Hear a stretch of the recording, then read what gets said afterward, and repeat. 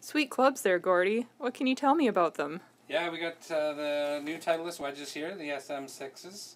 Uh, nice thing about them, basically, it's their new wedge that came out at kind of end of last year.